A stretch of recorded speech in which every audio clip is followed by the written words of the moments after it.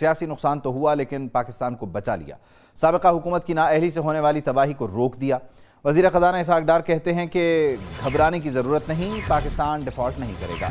Default की बातें करने वालों को शर्म आनी चाहिए। आई एम एफ़ माहे की ताखिर में कोई तकनीकी वजह नहीं, स्विच ऑन ऑफ़ करने से मीशत ठीक नहीं होती।